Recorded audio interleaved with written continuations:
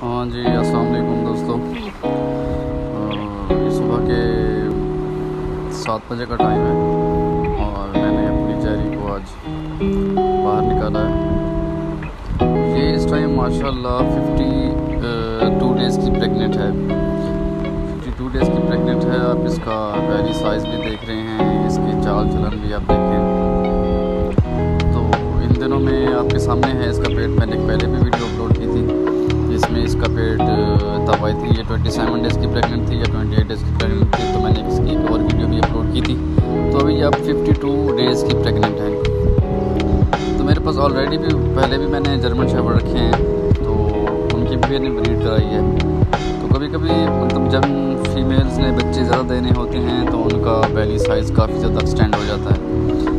अब मेरे अंदाजे के मुताबिक इसके पेट में, जहाँ तक मेरा एक आइडिया है या जहाँ तक मेरा एक एक्सपीरियंस है तो मुझे लगता है इसके पेट में maximum three to four puppies हैं। इससे ज़्यादा पपीज़ नहीं हैं। क्योंकि मैंने और भी फीमेल्स को देखा है तो उनका पेट काफ़ी हैवी होता है और काफ़ी ज़्यादा लटका होता है। तो इसमें वो चीज़ नहीं है। मतलब इसमें इसका पेट नॉर्मल है और इसकी ये फ़र्स्ट टाइम की मीटिंग है। उस, इससे पहले आज तक इसने बच्चे नहीं दिए, ना ही ब्रीड की है। मैंने इसकी फ़र्स्ट हीट मिस कराई थी, जब ये ग्यारह मंथ की थी, तब हीट पे आई थी, वो मैंने मिस करा दी थी। फिर ये फोर्टीन मंथ की जब हुई, तब ये दोबारा हीट पे आई तो मैंने इसको मेट कराया।